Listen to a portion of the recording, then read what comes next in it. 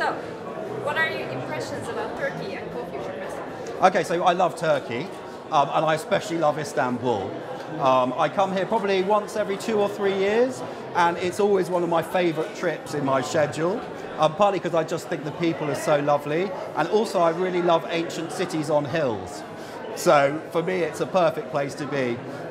And I love CoFuture. I haven't been to CoFuture before, and there is an amazing energy and buzz to this event. I love it. It's really informal, and it just feels that there are lots of people going and connecting and finding out about new things together. Um, so there's a great energy. I love it. Right. So, what are the biggest challenges in media today? So we've got lots of challenges that we're facing today um, in the media business and actually in the marketing business overall. Um, lots of people talk about the challenges of disruption. Uh, talk about people talk about the challenges uh, uh, uh, with engaging people in, in a world where there are so many choices. But I think the biggest challenge that we face is short-termism. Um, and what I see at the moment is more and more money is going into very short-term communication uh, solutions which are driving short-term sales and they're doing that at the detriment of long-term brand building. Um, I understand why it's happening. It, it's happening because all the data is sales data, so it's easy to prove that that's the way to be.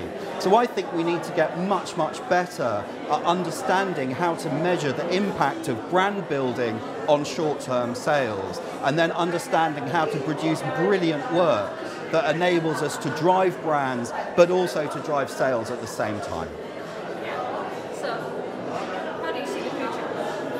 So for me, the future is a bright and exciting one, providing we can get through the next six months. Um, I'm really interested in a re-emergence of creativity and of creativity taking new shapes.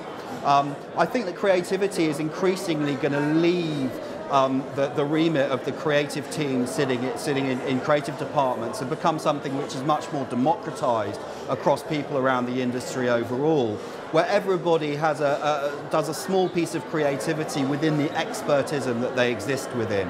I absolutely don't see a future for communications which is run by enormous computers where there's no one left in the room um, apart from the guy who turns them on every morning.